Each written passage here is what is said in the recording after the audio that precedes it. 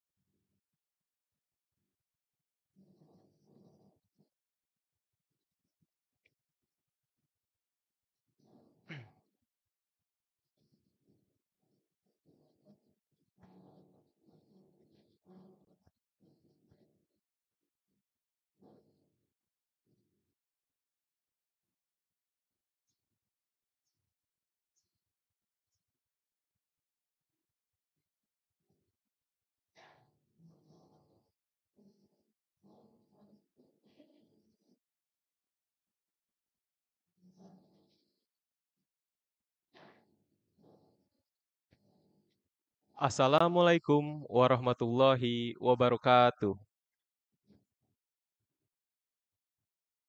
The Honorable General Chairman of Nahdlatul Ulama, His Excellency Kiai Haji Yahya Cholil Staquf, Rector of the Indonesian International Islamic University, Professor Komaruddin Hidayat, the board members of Triple IU, and all distinguished guests.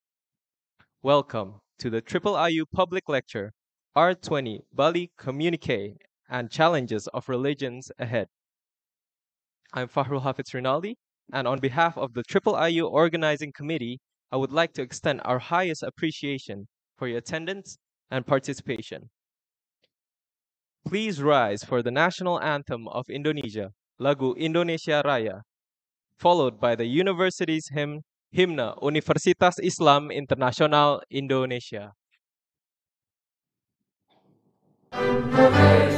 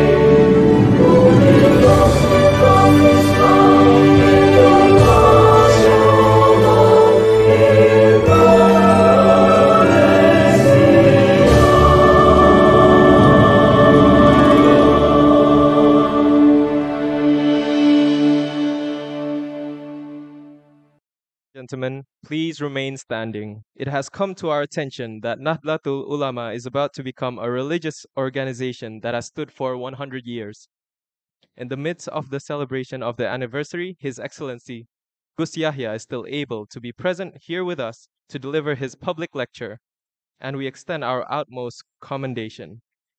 To commence this event, and in respect to all the contribution that Nahdlatul Ulama has given to Indonesia and the world, we will now turn our attention to the first century anthem of Nahdlatul Ulama, Merawat Jagat, Membangun Peradaban.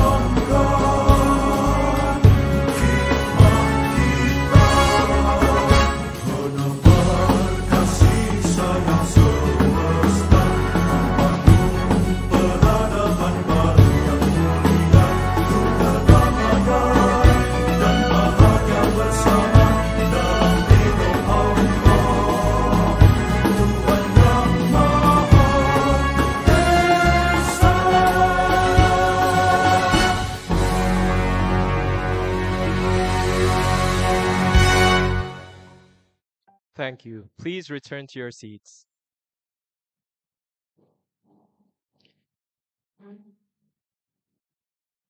Ladies and gentlemen, we would like to invite Professor Komaruddin Hidayat to deliver his welcoming remarks. Professor, the stage is yours.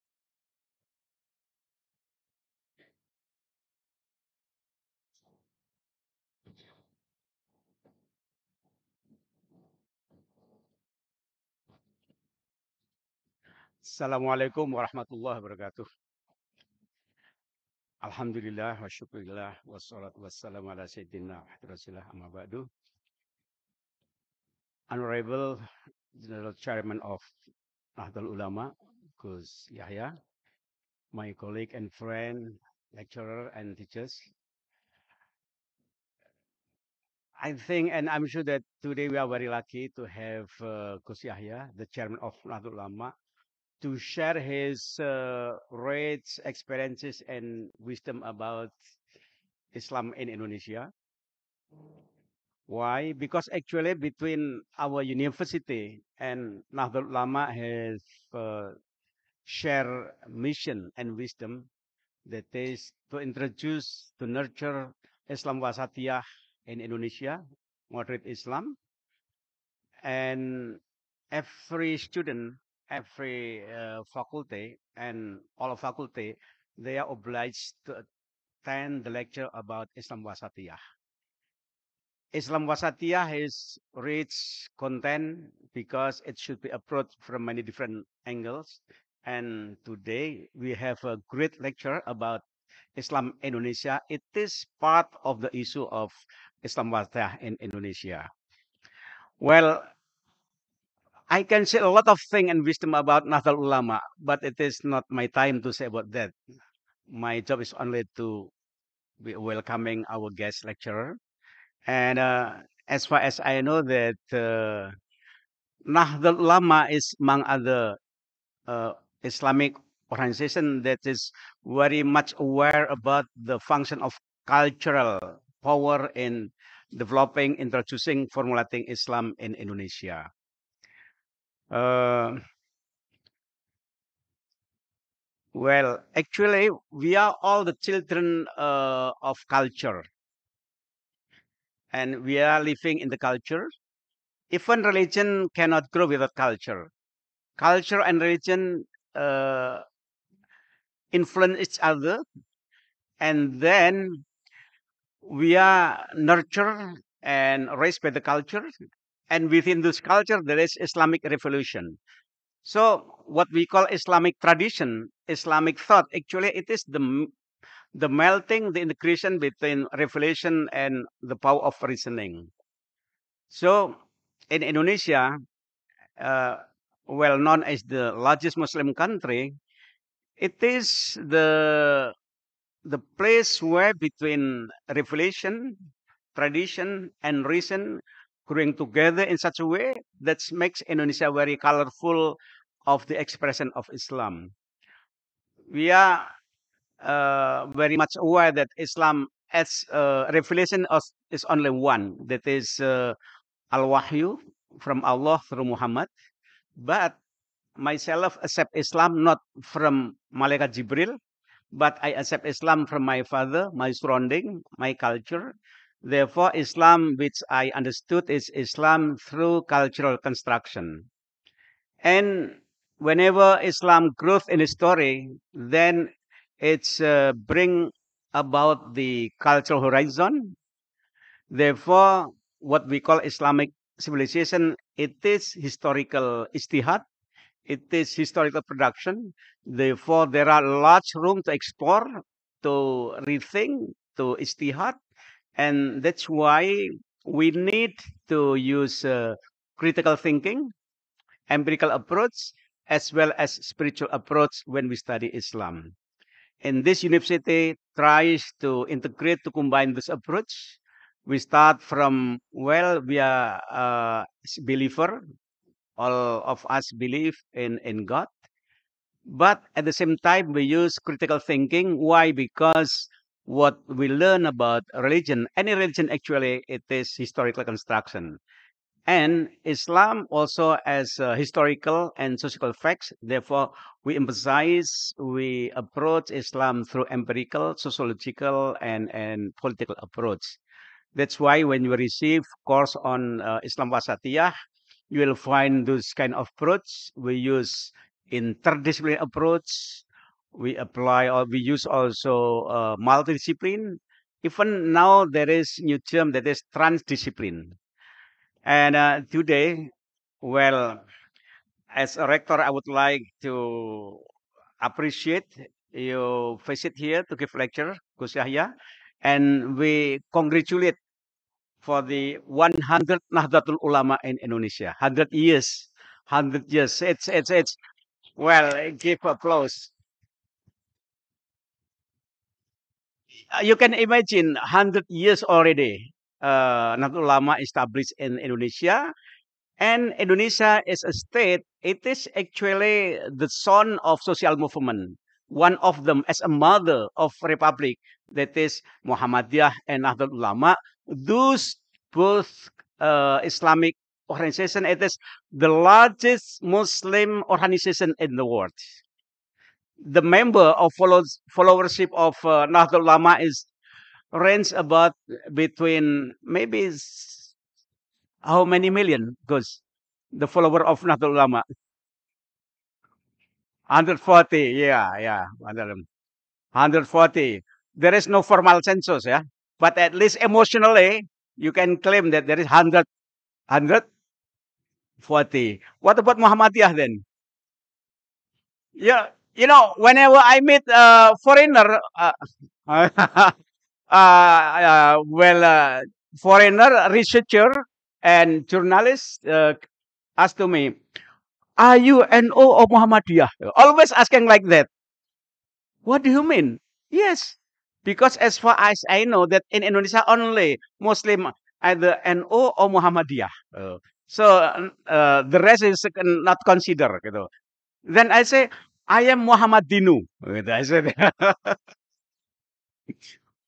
they get confused. Why? Then I explain that it is organization. Gitu. Uh, and this um, the big historical political capital for Indonesia, Muhammadiyah and Nahdlatul Ulama. Then those two uh, organizations that as uh, the guardian of Pancasila, the guardian of civil society, and the guardian how to implement the vision and mission of the independence of Indonesia. Well, uh, I don't need to uh, give further speech. I would like to enjoy soon the the lecture will be delivered by our respectable guest Gus Yahya. Terima kasih. Wassalamualaikum warahmatullahi wabarakatuh. Waalaikumsalam.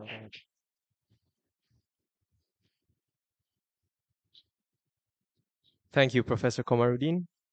We can now begin the public lecture session. Please welcome the General Chairman of Nahdlatul Ulama, His Excellency Kiai Haji Yahya Cholil Staquf, on stage to start his lecture.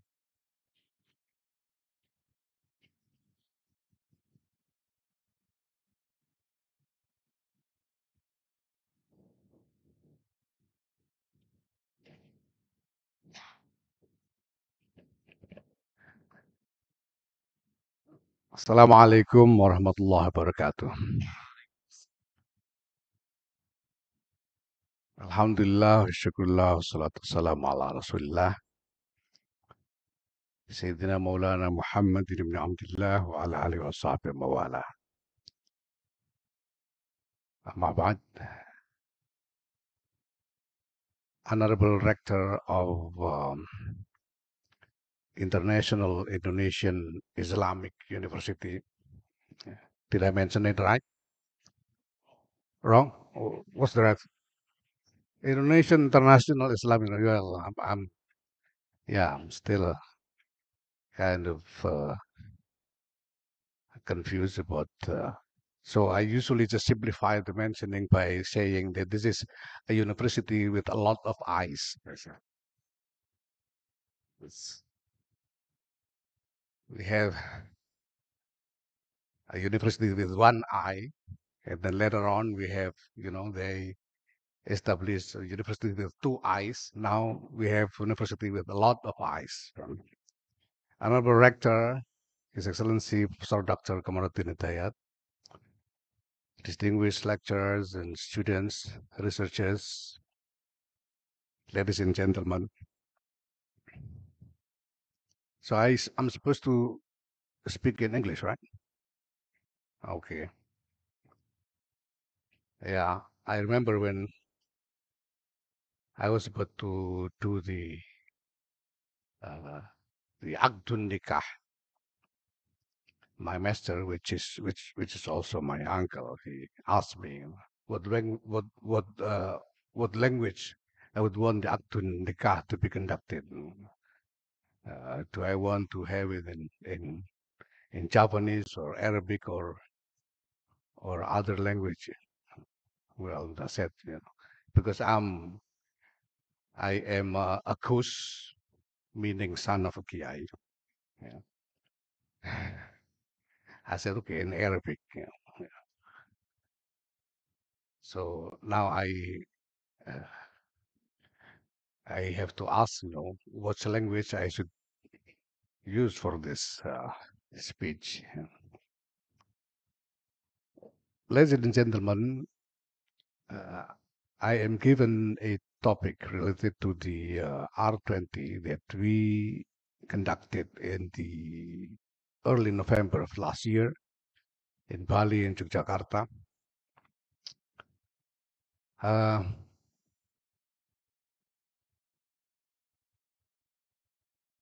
I uh, would like to first explain why we did the R20.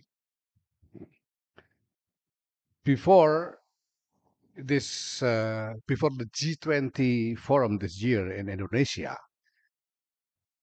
um, it was in um, several years in G20 forums. Uh, they uh, had this uh, interfaith forum, which they call the Interfaith 20 or IF 20. But now, this year, we didn't do IF 20, but we did R20. And I was asked why. Why uh, we uh, did not do the IF20 and instead we did R20. I said this because because we we have a different idea about how an interfaith dialogue should be conducted. The IF20 usually put as topics of of the uh, forum um, issues related to economy and environment you know, and various things uh, that uh, reflect uh, the policies of government and ask uh, the people who, who are supposed to be representatives of religion to offer supports from the perspective of religions for those policies. How religion, for example, how religion, you know, can formulate a religious, you know, articulation to support policies on environment, for example, policies on uh, economy, policies on, for example, gender issues, uh, and so forth. Now, we chose another approach. We understand that this kind of uh, approach in bringing forward the role of religions into uh, public issues is something quite uh, familiar everywhere, at least since uh, 1980s. I remember in Indonesia back then, in 1980s, Nahdlatul Ulama was encouraged to produce a uh, religious formulation as a port as as support to uh, the family planning program belongs to the government belong to the government at the time you know. so religion you know and in, in, in one sense is used utilized to mobilize support from the people of religion for a particular policy uh, of the government.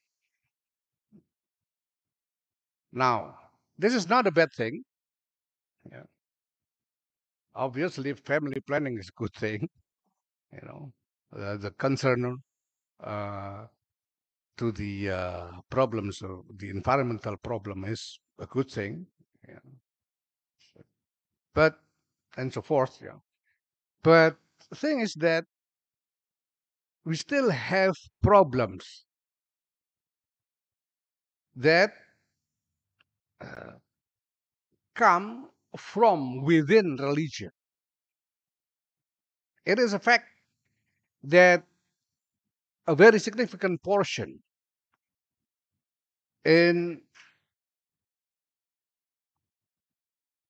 conflicts that are happening in different places in the world actually related to religion. This uh, disaster in Middle East is related to religion. this um, chaotic conflict between Muslims and the Christian people in West Africa, obviously related to religion. What we are seeing in India nowadays related to religion. So religion actually has everything to do in various hotspots in different places in the world. And it might also uh, have a um, significant role in um, prolonging the tensions that occurs in various uh, societies, including in the West, um, that in, involving involving the uh, different uh, groups of uh, ethnics and religion. What the European, some European people call as uh, the crisis of immigration, actually, in a sense, also related to religion. Why it is a, a crisis related to uh, immigration in Europe? Because you know a lot of immigrants coming into Europe are actually Muslims coming into a non-Muslim society in Europe. So it's been a very complex matter, actually, but religion has a portion, you know, of role in there. As you can see, you know, recently, what happened with this, uh, this Sweden, S- S- you know, this, this Swedish uh, uh, politician, you know, uh, Rasmus Paludan. You know, the problem that he is articulate, articulating is not just religion, but surely related to religion. So we have, in fact, a problem of relationship between different group of religions. The relation- relationship between Muslims and Christians you know, are not well, actually. It's problematic until now. The relationship between Muslims and Hindus, problematic, and also with the, with the Buddhists, you know, relationship between different uh, streams of Christianity, and even in Europe, is still problematic up until now. Relationship between different streams of Islam in Muslim societies is still also problematic until now. So we've been doing this tradition of internet interfaith dialogue since when? For decades. I remember I was already uh, an activist in this, uh, you know, arena since like 1980s. And what's the result that we have? In 2017, um, Vice President of United States Mike Pence visited Indonesia, and we, uh, you know, we uh, held for him a, a an interfaith forum in Istiqlal back then. I think maybe Professor Komaruddin also attended that uh, that forum, and I attended uh, as representative of Nahdlatul Ulama. When I was uh, given uh, the uh, opportunity to speak, I said, I just tossed a question. How long have we been doing this? This interfaith, this supposed to be interfaith dialogue. Because what happened back then was like uh, a usual traditional interfaith dialogue where every, uh, you know, the, the representatives of each religion uh, we're talking about uh, how uh, the religion that uh, they represent is a peaceful religion, religion, peace, uh, love, and so forth. You know, like what we usually have in in interfaith uh, forum like that. You know, nice words. So I said, you know, I said I asked question, how long have you been doing this? And what's the result? You know, are things getting getting better? I said the fact it's not. Things are getting worse. And this only have one meaning. We are doing it the wrong way. We have to find another way of doing it. Which I believe, you know, this other way that we have to pursue, I believe, has to be truly based on honesty. We have to speak honestly about the problem, even if the problem actually comes from our own religion. We have to honestly admit that, acknowledge that. Because if we want to resolve a problem, first thing, we have to simply recognize the problem. A problem that is not recognized cannot be resolved. So,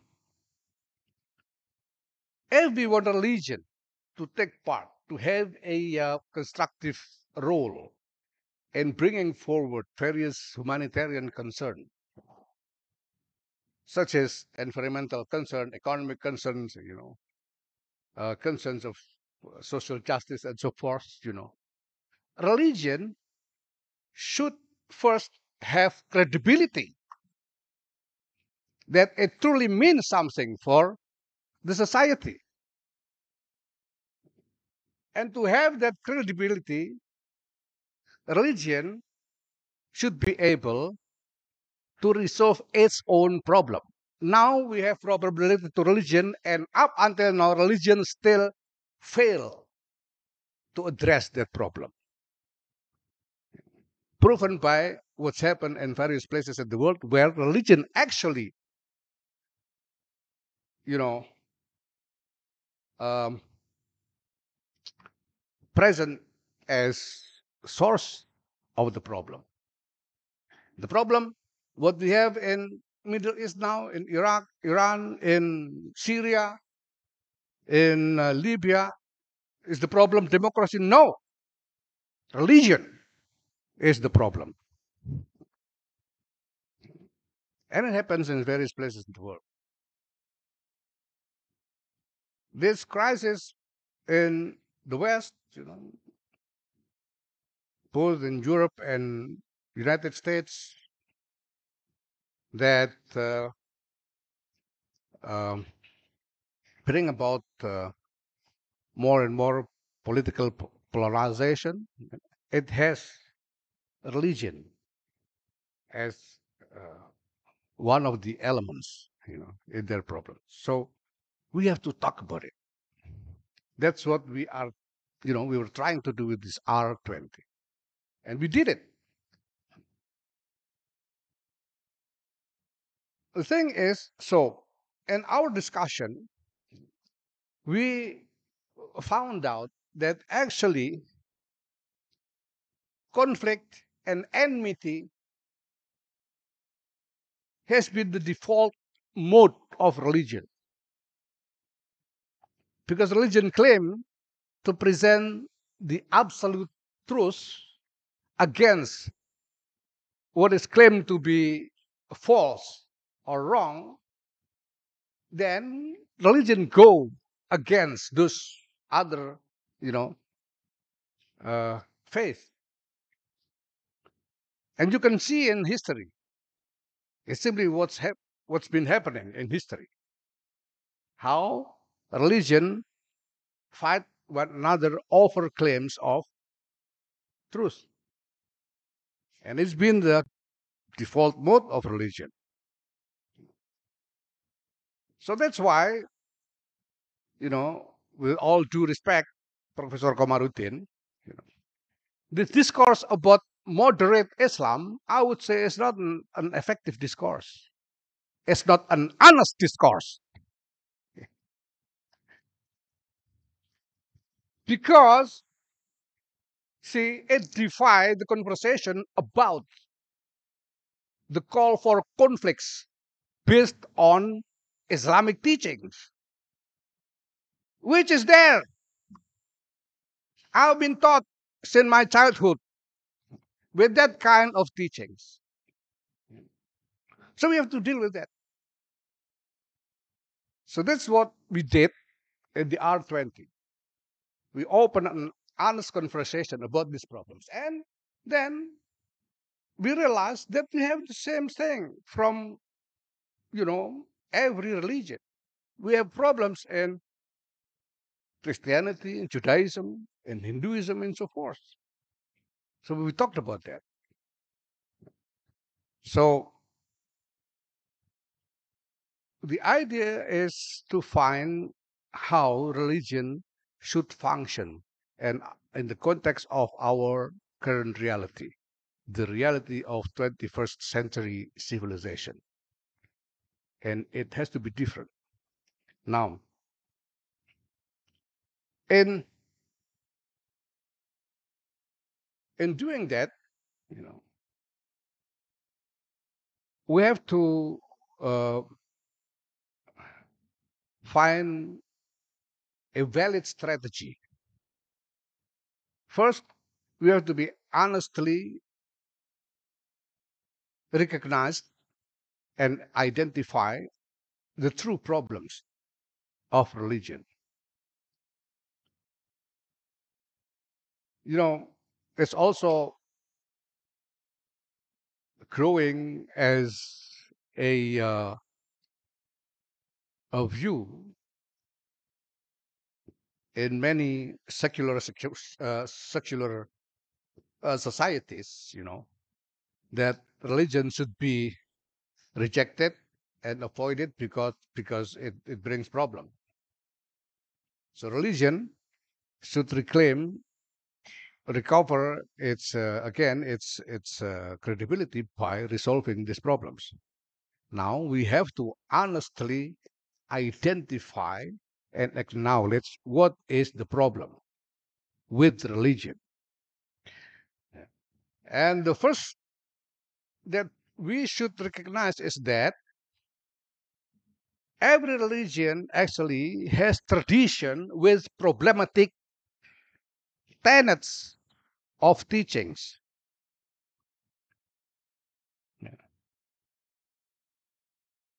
Let me talk about Islam, for example. I've been taught with this kind of teaching since my, child, my since my childhood until until now. That the others, the non-Muslims, the infidels, are our enemy and enemy of God. So the basic view of Islam, see, that's been taught to our children up until now about non-Muslims is that they are enemies, is enmity. So what do we do with that? We have to acknowledge this. It is based on that kind of view that now, for example, the so-called radicals and extremists developed this ideology of al-wala wal-bara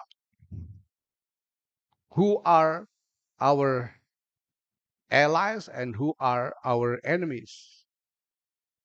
What is the boundaries of you know alliance and enmity this is a problem now then what we need to do surely is we have to develop an alternative discourse on this.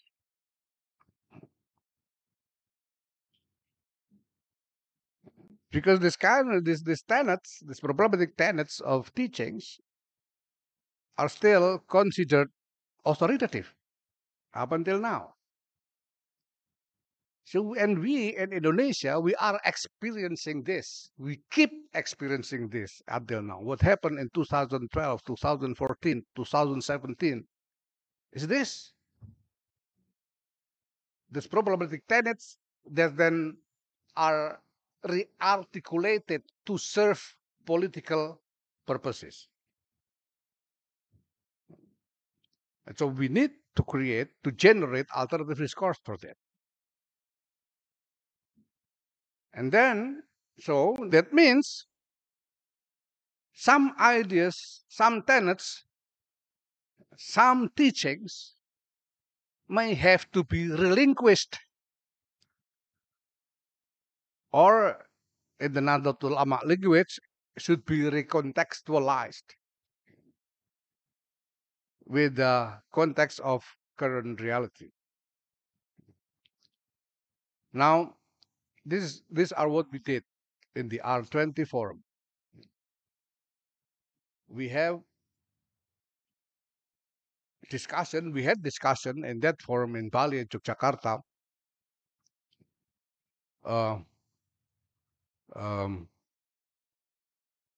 which uh, contain criticism, criticisms, you know, and you know, um, self-criticism from each religion about what's problematic and the teaching of each religion.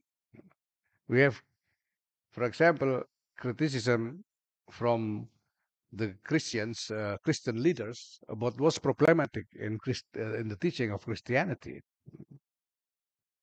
as well as uh, I and other Muslim leader were talking about also problematic uh, issues in Islamic teaching, and also the the Jewish uh, leaders and the Hindu leaders back then, and actually uh, uh, we did ha- uh, our our um, expectation actually uh, met what happened in Bali and Yogyakarta in our R24. Before that, we are seeing that people were afraid that criticism uh, can, you know, can trigger uh,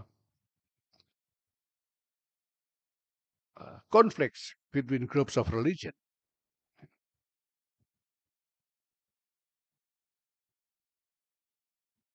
But the thing is, we need to do it, although it is, you know, never comfortable for us. But we need to do it because, you know, precisely it is the problem. And people who were involved in R20 forum, they were, you know, amazingly so excited with this discussion. They're so excited and so enthusiastic to a point that they say, they said themselves that this should not be just one off event. We have to do this R20, we have to develop this R20 forum as a global movement because this is what we need, which is again an honest discussion about the problem related to religion, the problem coming from religion. See, this is uh, actually a long shot because we still have politicians who, for the interest of gaining support, usually use religion as weapon, as political weapon. It happens in Indonesia, it happens, it is happening now in India, in Nigeria, in Myanmar, and other places in the world. So we need more decisive component of strategy to deal with this problem.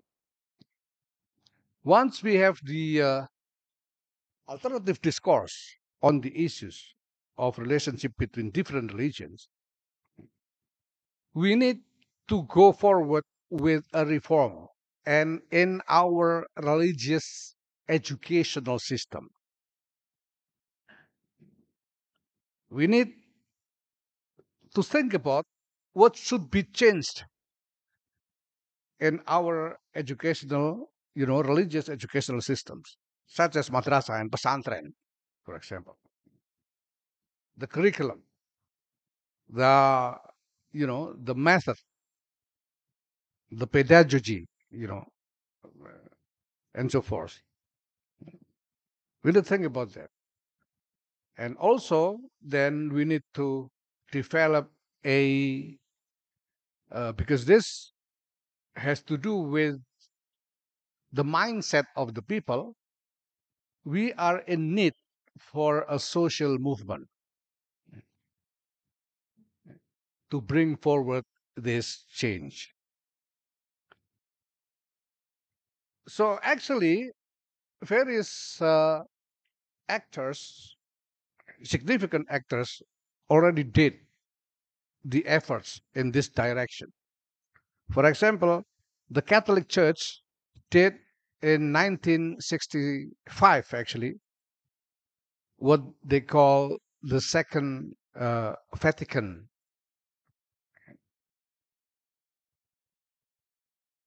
And in that forum, you know, when uh, where they uh, ha had the gatherings of uh, Catholic leaders, they uh, came to a new position of, you know, of Catholicism by saying that there is salvation beyond the Catholic Church. That's what they did at the Second Vatican. In 2016, there is a group of uh, rabbis who did a uh, rabbinical uh, conference somewhere in the United States. And as the result of that uh, uh, forum, they produced what they call the Teshuvah document, you know, the document of repentance. In that document, they actually honestly, honestly addressed problematic elements within the teachings of Judaism, such as this view related to non non-Jewish people, you know, the uh, you know the status of non-Jewish people, which in traditional Judaism uh, is viewed as something like subhuman to them, comparing to Jewish people, because Jewish people are chosen ones, and the non-Jewish people are just unchosen, meaning, you know, uh, what they call the Gentile, something lower, of lower dignity, you know, compared to Jewish people. This is acknowledged by these rabbis as part of their traditional teachings. And they call for relinquishing this view. This is good. 2000. And we invite invited one of uh, uh, the leaders of this movement. They, they call it the the the uh, Masorti, you know, movement. Masorti movement. We one of their leader, their leader is uh, actually Rabbi Alan Brill. Yeah. from the United States. We invited them. He came and he's, he, he spoke about this in R20. And also in 2019, actually, Nahdlatul Ulama held a uh, national con- conventions of ulamas in Kota Banjar of West Java back then. We had thousands of uh, Uh, NU ulamas. You know. when I say thousand means thousands, you know, maybe not less than 20,000 ulamas, you know, came in that gathering in Kota Banjar. You know. See, Nahdlatul Ulama actually, we don't have registered membership. We don't do, you know, we don't register our members. So we don't have this, you know, record of how many members actually we have.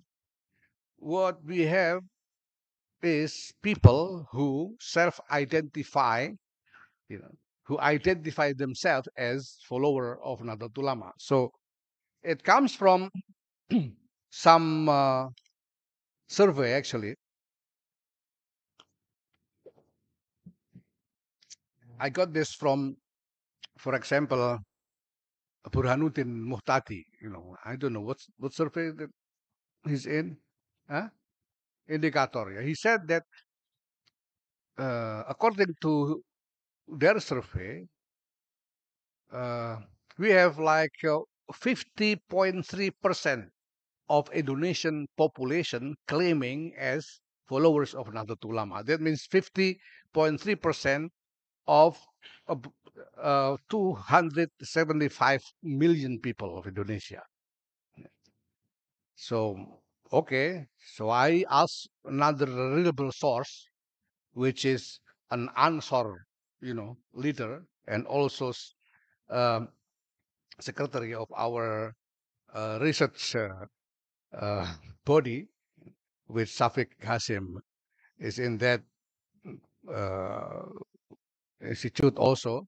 You know, we have a friend, this friend named Hasanuddin Ali. He has his own research institute called Alvara. And I asked him how many, and he said we have 59.2% of Muslim populations of Indonesia claiming to be followers of Nahdlatul Ulama. So that means 59.2% out of 238 million people. You know, that's why I said 140 million. So, um, I um, I'd rather not mention you know the percentage of Muhammadiyah. You know, you know, because uh, yeah, I'm not to be seen as offending. So we have this national conference, uh, uh, uh, you know, convention of ulamas in 2019, and these ulamas out of discussion. So we we we, we put some questions, you know, some key questions to them to answer. First, a question about what is the status of infidel or non-Muslim. Is non-Muslim should be viewed as enemy that has to be destroyed, that is eligible to kill, because there is this uh, view, this very authoritative view in Islamic discourse that in Islamic discourse that said that al asl fil kafir halalud dami wal mal illa liman lahul am, aman minal imam. The original status of non-Muslim, of infidel, is eligible to kill and to be, you know, confiscated for his belongings, yeah. except those who get this uh, um, uh, guarantee from the leader, from the imam. It is there and it's still considered to be very authoritative view in fiqh, in uh, you know, in Sharia. So now, what is the status now? The status of non-Muslim. The second second question is what is the status of a caliphate? of uh, uh, establishing a caliphate. What is the legal status, the legal status of establishing caliphate you know, in the eye of Sharia? And the third is, you know, what is the obligation for Muslims when they encounter uh, different, you know, different um, laws between national law and the Sharia law. Which law should Muslim abide by? National law or Sharia law?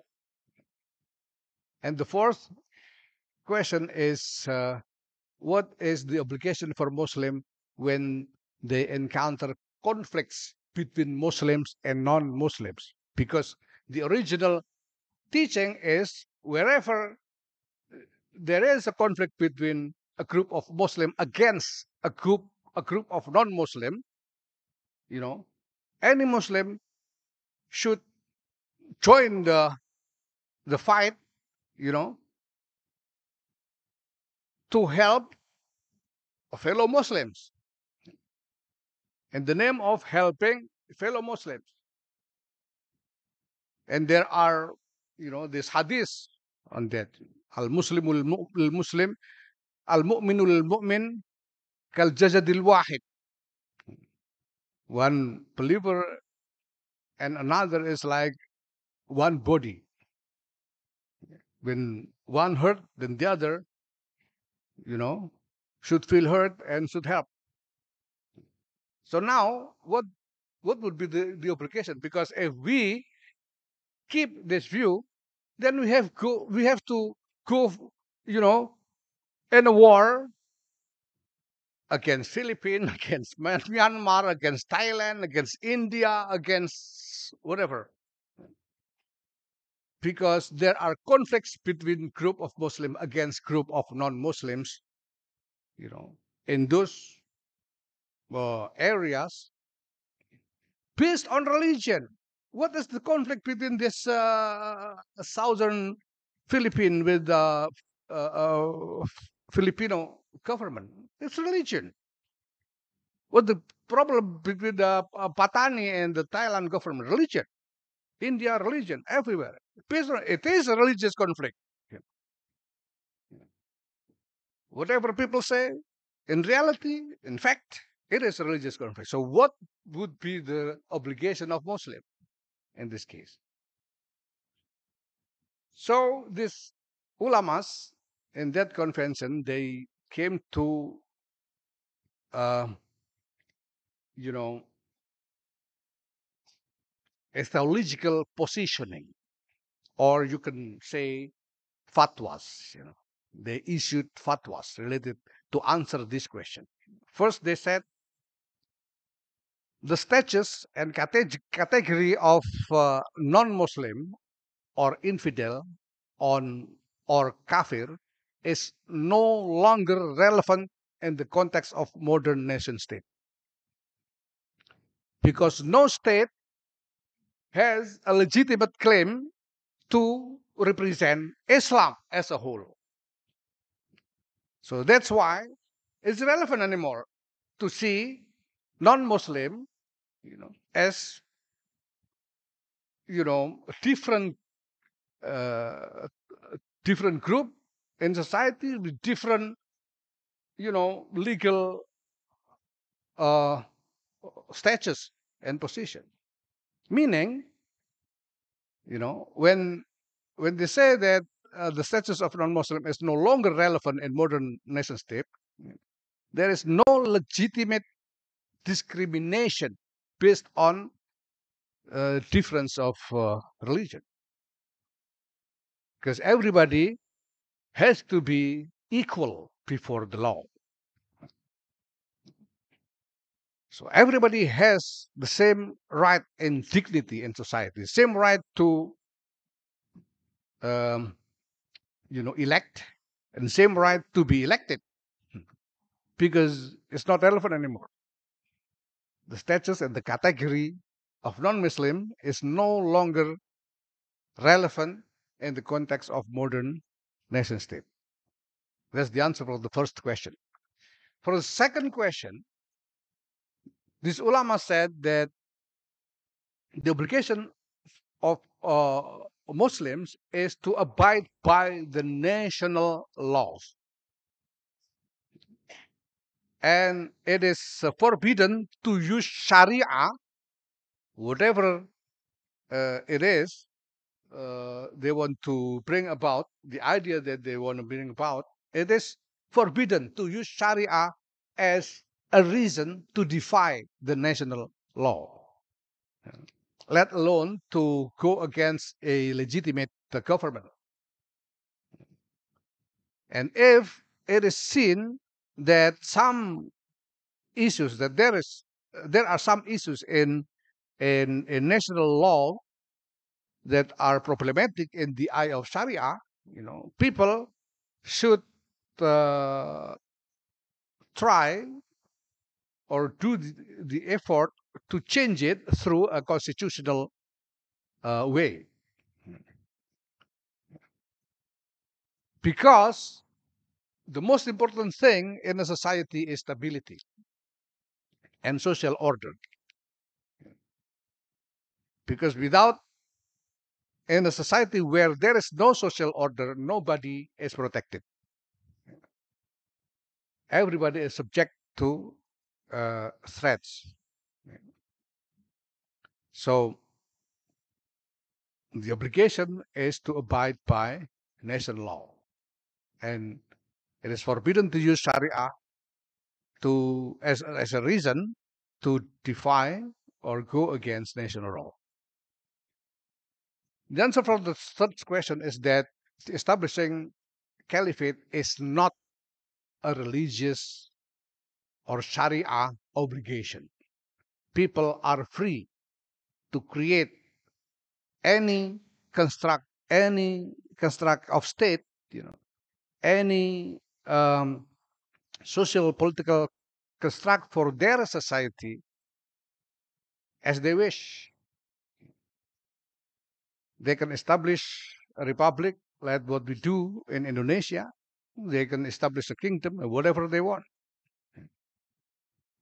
People are free because caliphate is not a um, you know it's not like an officially sharia construct of social politics no so it is not a religious obligation to establish a caliphate now, for the fourth question, the answer is that Muslims are obliged to struggle and fight for peace and not getting involved in any conflict uh, in the name of helping fellow Muslims. Because involving in the conflict means, you know, um, means um, uh, making the fitna, making the fitna bigger. It's enhancing the fitna. So the obligation is to resolve the problem, to end the fitna by uh, making efforts for peace.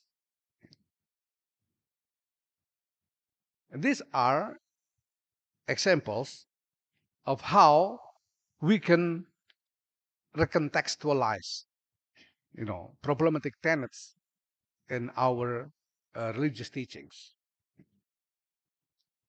And now I know we have uh, a uh, a community of evangelical Christians who are working on this kind of efforts too because I know this because actually since 2018 we have an official uh, working group you know, with the uh, World Evangelical Alliance. Yeah. So it's it's a ongoing works to have a contextualized evangelical teachings. If you see what I mean. So this is something we need. Now, further study that we did, that we are doing, uh, brings us to a uh, thought that we need a strong foundation which can be um, used as the foundation to develop a new uh, set of teachings related to the relationship between different religious groups. Now, we come to a conclusion, actually, that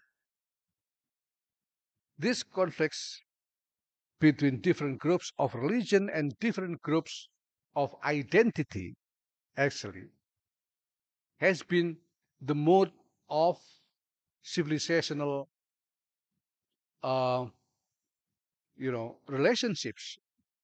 All these centuries and thousands of years of human civilization.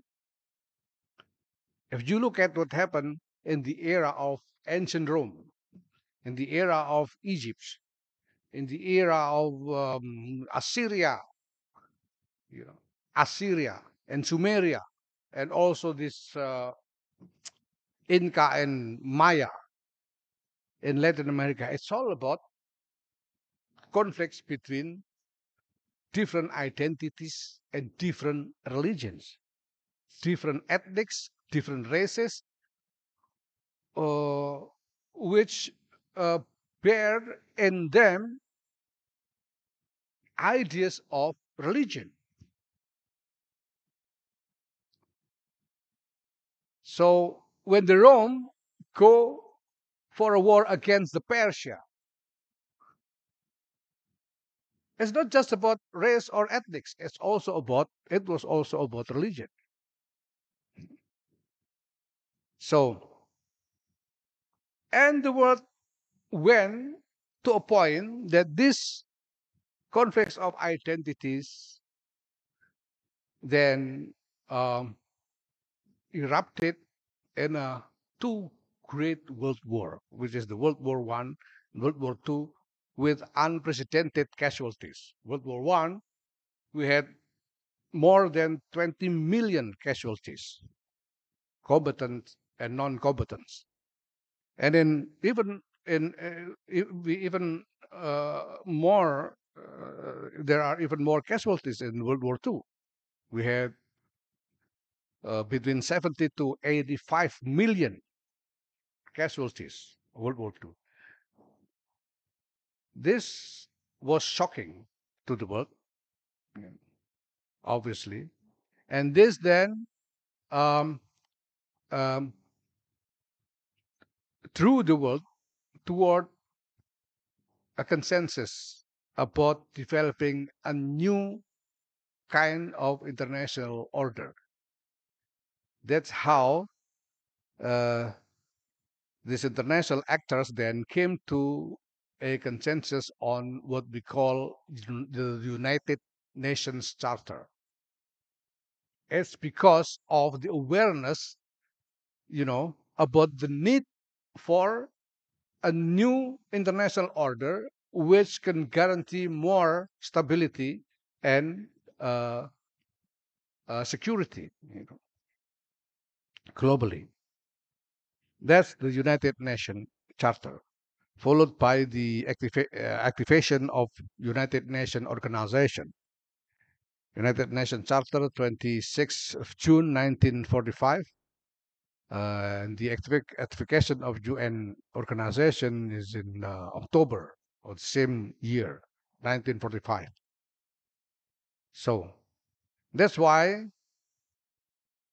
So we are seeing this. This international consensus can be a starting point we think that if Islam, you know, represented by the ulamas, can find an you know a legal status of this international consensus in the eye of Sharia, then we can develop all this uh, uh, you know required uh, views, religious views to uh, nurture more uh, uh, peaceful relationship between different religions. So, yeah, because it is whatever we talk about this tolerance, you know, peace, you know, harmony, whatever, it's based on this international consensus of the UN Charter. See, we didn't do tolerance back then in 1940, right? We we even didn't do tolerance when in September or yeah, September 1945, these allies, uh, the, the ally, uh, the ally, uh, the, the troops of the allies came to Surabaya. We didn't tolerate them. You know.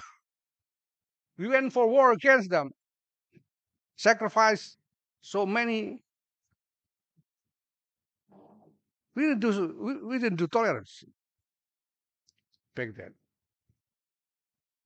So, did the Ottoman Turk, you know, practice tolerance against these Christian uh, European uh, kingdoms? No. Did the Catholic kingdom in Europe did, you know, conducted tolerance, you know, toward the uh, Protestant or the Anglican kingdom? No. Tolerance was not needed back then before this UN Charter. Tolerance, we we call for tolerance because we want a more peaceful world, right? And it started with this UN Charter. So now we think we can use this as a starting point. That's why in uh, 6 February, you know, uh, it's one day before the uh, the big uh, uh, ceremony for the uh, you know centenary um,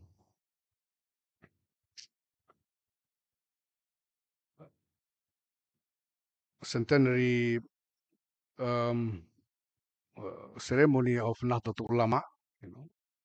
So we we are going to do the uh, the official uh, ceremony to commemorate the a century of uh, the establishment of Nahdlatul Ulama in the 7th of February.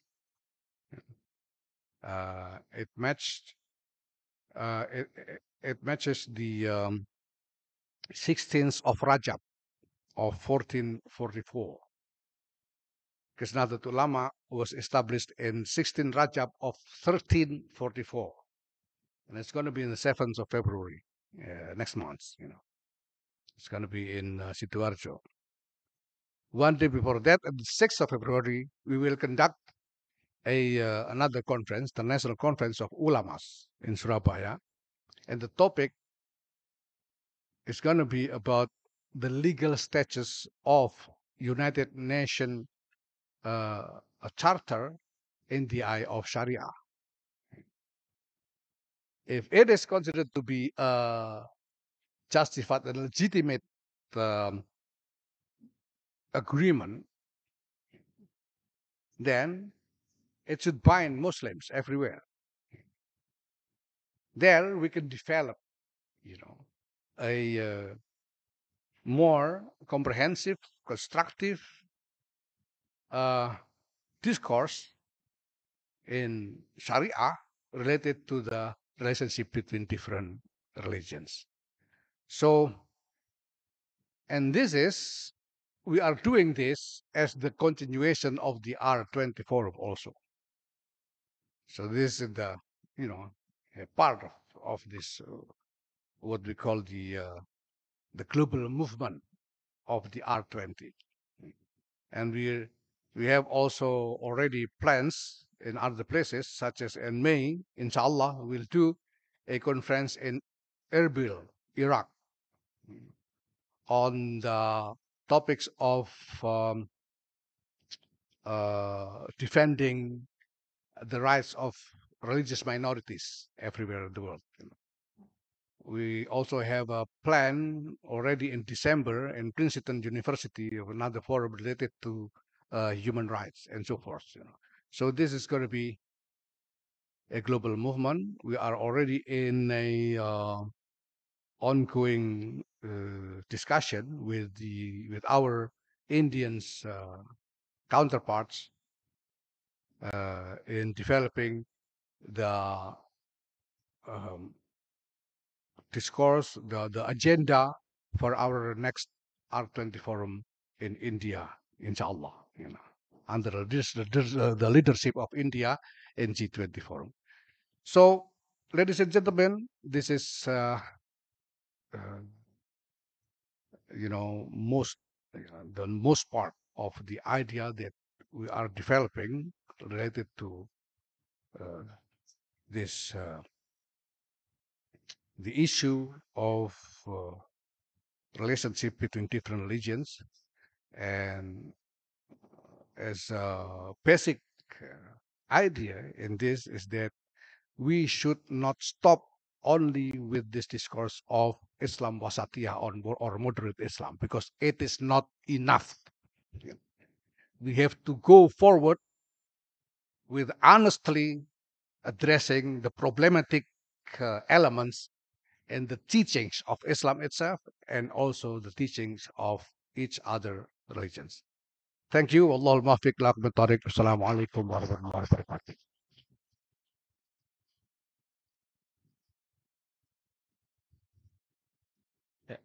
Thank you, Gus for your wonderful and excellent lecture. We'll now enter the discussion session. So, we invite students, lecturers, or staff members of Triple IU to ask their questions now to Gus. Please raise your hand to ask your question. And if you are selected, uh, please come up to the front of the stage because we want our online participants to look at you as well. Uh, to uh, His Excellency Gus Yahya, could you select uh, three questions for us to decide? Yeah. Oh, okay. so to me. So I suppose the first one should go to the Dean of the Faculty of Education, Professor Nina Nurmila. Please come up front. Thank you.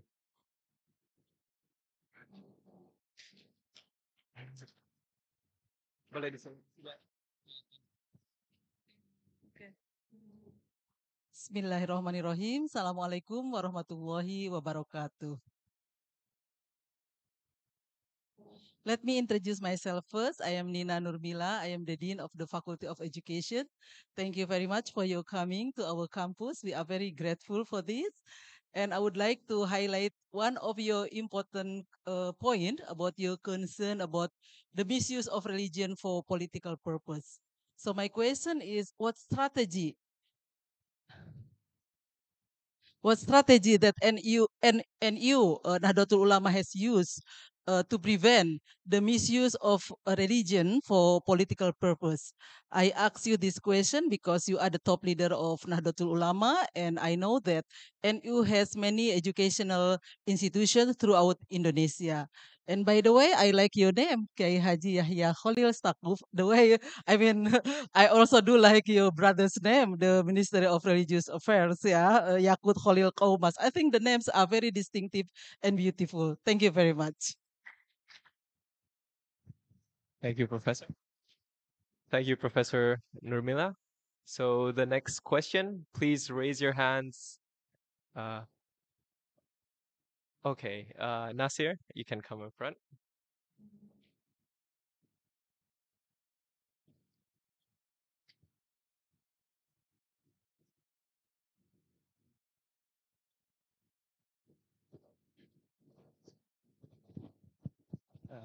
Assalamu alaikum wa rahmatullah. Uh, good afternoon, everyone. So thank you for your wonderful lectures. Uh, my question is, okay, okay, sorry. My name is Muhammad Muhammad Nasir, uh, MA student in the Faculty of Islamic Studies, and I am from Nigeria. Okay, um, looking back to the early days of Islam and and how Islamic system operated, I believe there existed a constitution, Dastur al-Madina, which promotes peace and tolerance. And I believe that constitution accommodated everyone in spite of his religious affiliation. So, I mean, your emphasis on re- re- rebranding Islam, which is to me like more of changing the religion itself, don't you think that it's more of going back and reflecting on how the Islamic system operated in the early years and implementing the same teachings, which I believe they were effective in accommodating both the Christians, the Jews, and even the infidels, rather than changing Islam, which I believe it's not even unanimously agreed by these scholars worldwide. Terima kasih. Thank you, Muhammad Nasir. So one more questions. Uh, I suppose to ini. Yeah, one more. Thank you. Assalamualaikum warahmatullahi wabarakatuh. Um, I'm Melanie Buitenzorgy from, uh, I'm a lecturer from IPB uh, Gus Yahya. So I'm coming a long way from Bogor just to listen to uh, Gus Yahya lecture, which is uh, which is uh, very enlightened for me because it is sesuatu banget. Uh, uh, the leader of P- uh, PBNU likes to talk about this quite a, uh, sensitive issue, uh, uncomfortable issue to to talk. Uh, Gus Yahya, uh, may I point the um, data from um, Mas Burhanuddin Muhtadi's uh, lembaga survey uh, that the follower of uh, Nahdlatul Ulama in Indonesia is uh, more than 50%. But unfortunately, uh, that is not um, that is not the case for higher education world in Indonesia. Um, maybe uh, also um, in my university, um, because we know that in higher education sector in Indonesia is still dominated by the conservative way, uh, conservative um, views, conservative um, organization that we know which one, but we don't we don't need to uh, to uh, mention. Um, my question is, uh, Gus Yahya, do you have any um, suggestion?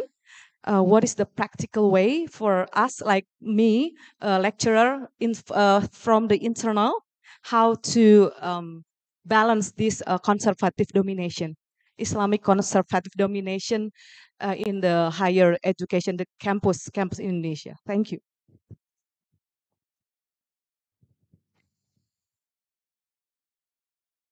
Thank you very much. Uh, Gus Yahya, should do you want to add one more question, or I think it's enough? Okay. Uh, apologies to everyone. So to Gus Yahya, please wel- welcome Gus Yahya back on stage. Thank you.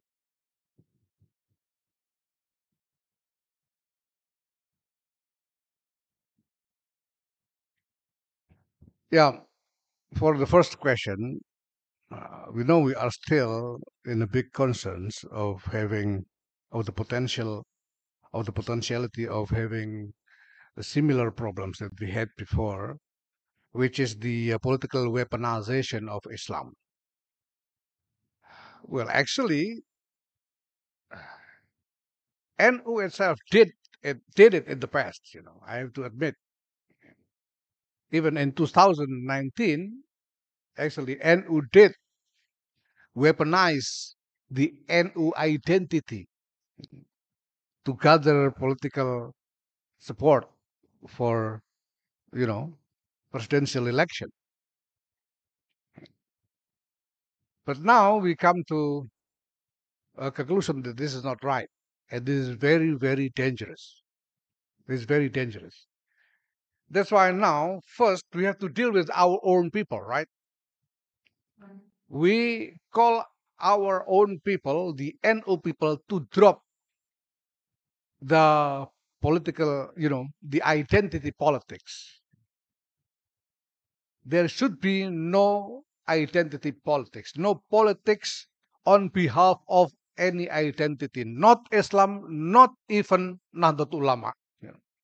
That's why I said uh, repeatedly that there will be no, you know, candidates in the name of Nahdlatul Ulama or on behalf of Nahdlatul Ulama. No. Each candidate represents his or her own credibility, capacity, and track records, and not Nahdlatul Ulama. That's what I said. Yeah. And I say it repeatedly because yeah, in almost every um, every uh, occasion where Na- Nahdlatul Ulama people uh, gather, you know, I say this uh, to them because, and I actually uh, move our Nahdlatul Ulama cadres, you know, to uh, do the campaign, you know, on this uh, idea of not uh, weaponizing Nahdlatul Ulama or Islam yeah, for political purposes. Now, but we know that this, this is not enough. We need to work more. And the first thing that I believe has to be done is to avoid a dangerous game design for the election because everything is about game design. What game do you want to play? Do you want to play football or chess? You know, do you want to play, uh, you know, gladiator game? You know, let's have an, uh, uh, uh, you know, a safe game for the election. Meaning, let us design you know, a safe game for the election. You know. And one among uh, things that we need to do in uh, designing a safe game is to avoid problematic and dangerous candidates. That's the thing. Any candidate that has track record or potentiality uh, or potential, uh, you know, uh, potential uh, gesture to weaponize identity should be dropped. Because these are source of of the problem you know. That means we need to talk to the uh, political elites not to do it. So and there are more that we have uh, we need to uh, uh, to struggle you know to try to do. I know that uh, this is uh, not going to be easy for us you know. It's it uh, will take courage and uh, persistence. So this is what we not, we want to do. Now for the second question you know the madinah uh, charter was uh, well something that is something historic that uh, people should uh, refer to again. In uh, while addressing our current uh, situation you know. Uh, professor dr Quraish says that actually the idea of nation state was already there you know put by the prophet muhammad himself in the, the madinah charter. Madinah charter actually basically was an idea of a nation state and and this this might be true i i personally believe in it believe in that. The Madinah Charter. The thing is that, you know, in reality, the Madinah Charter works for only so, you know, so short of time. After that, people just uh, had no choice but to go to conflicts and wars against each other. And for more than 13 centuries, or 14 centuries, even more than 14 centuries, you know, the Islamic uh, community globally uh, has been uh, growing with this mindset of conflict. We have a huge corpus of discourse in Sharia which uh, offer these ideas of conflicts and enmity against other. That's why we have this idea of kafir dhimmi in Harbi, for example. Who is kafir dhimmi? Kafir dhimmi is a second, you know, citizen in any uh, Muslim society. It's just what it is. and this kind of discourse have been we, we've been living the muslim community globally has been we have been living with this kind of discourse and mindset for more than 14 centuries. But the thing is that uh, i think this also then related to the uh, the last question. We have to see the reality. Do we want to continue this direction of conflict. Do you want to insist to apply this you know this uh, uh, teachings of enmity and conflicts against other which is established in sharia discourse. Do we want that? See the thing is uh, in reality uh, a uh, conflict you know, a call, you know, a, a, a, a, a global conflict, a universal conflict of identity of identities uh, would not be affordable anymore.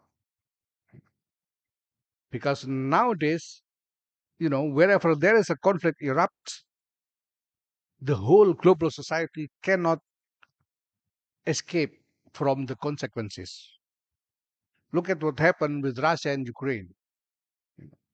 We Indonesian, we don't have anything to do with them. You know, we we we are not involved in any issue related to Russia and Ukraine and even uh, the NATO and Europe and America. No, it's just none of our business. We're not involved in the uh, fight also, but we cannot escape from the consequences, the economic problems that will come as the consequence of that war. Now, if she, in the past, when Islam was uh, represented by Turkey, the, the Ottoman Turks, you know, when there was conflict between Islam and Christianity, it was conflicts between the Ottoman state against the European states. Right? And the people who were involved in the fight was professional soldiers of the Ottoman states against professional soldiers of the European states. But now you see, Muslims live side by side everywhere in the world as neighbors with others. You have Muslims in Latin America. In Europe, it's a new phenomenon that Muslims are allowed to live in Europe. It's not before 1970s. Look at the the history, see? It started only after 1970s that Muslims can live and immigrate in, uh, you know, huge numbers and now become significant, uh, demographically significant in European um, society. Now, if we allow conflict of Islam against Christianity, it's not going to be a war between states. It's going to be a social, you know, disaster because it's going to be, you know, neighbors against neighbors against neighbors, and the result is no other than the, uh, uh, you know, the breakdown of the whole social order. And if we go on with this kind of conflicts to a global stage, then the result will be the destruction of the whole human civilization. So it's not affordable anymore. It is not affordable for us to insist to keep, uh, you know, implying this 14 centuries established teachings in our Sharia discourse. We have to generate an alternative discourse. And this comes to this, uh, you know, problem with students at universities, you know. See, maybe, uh, you know, uh, the professor, the professor uh, does not uh, want to mention, but I will mention, you know, it is the Tarbiyah students, the she supporters of PKS, and you know, actually there are the um, the uh, supporter of of the ideology of Ikhwan Muslimun or Muslim Brotherhood, which is now become maybe the the only survival of this war against radicalism and terrorism now, yeah, because they operate in a uh, more political way rather than a of uh, you know a violent way. See, but the idea is to consolidate the Islamic words against the non-Islamic words. That's the, the idea, the, the, the fundamental idea of the ideology of Ikhwan Muslimun and this and this you know so-called tarbiyah movement and hijrah use you know. It's all about separating themselves from the rest of the world right? It's all about segregation you know. Segregation. And then obviously uh, when they think the time is right you know it's going to be a conflict against whatever that that they see as others. Now what we need to do with them? Let's expose them with the reality. What do you want? And look at the reality. Is it feasible or not? You know it is useless to talk about uh, you know this ideology of caliphate based on uh, textual references. It's just it will be no end of discussion. But let's bring them to discussion about reality. If you want a caliphate a universal caliphate right you have to dissolve indonesia you have to dissolve malaysia you have to dissolve saudi arabia and so forth. You know how long you would want to wage war for this and how many how billion people you know how many billion people you want to kill for that idea? It's just reality. So let's talk to them about reality. It's not about NU against non-NU it's about rational accounts over reality. We have to think realistically about what is feasible and what is not. Thank you. Thank you, Kiai Yahya for your response to all the questions from the audience. Before we close this public lecture, we would like to invite Professor Komaruddin to give a plaque to His Excellency Gus Yahya as a token of appreciation. To Professor, please come on stage. And Gus Yahya, please.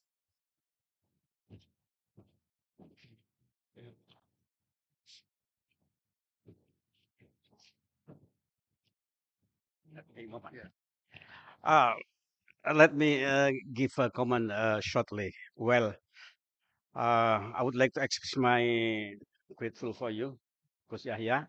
It is indeed a very enlightening speech.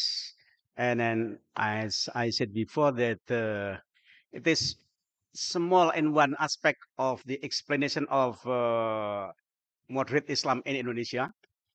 And it is also one of the answer why Indonesia is the largest Muslim country, but the state is a republic. Gitu. It is not ethnical state, it is not religious state, but it is civic nation based on citizenship. So this speech explained a lot. And this campus is a window for you, for the student, to look through this window about the reality of the Islamic development in Indonesia. So you should learn not only limited in the classroom, but you should conduct a research to meet, to discuss to many uh, religious leaders like Gus Yahya and other leaders in Indonesia because they are the actor they are the historical maker how to develop further Islam in Indonesia based on the uh, citizenship and humanity as it is written back to history of uh, well Piagam Madinah, Madinah Charter. You know that uh, we have five principle. It is the ideology of Indonesia. It is really in line of the Madinah Charter. And this page one of the very ex great and clear explanation about why Indonesia established republic instead of Islamic State. Thank you again, Gus Yahya.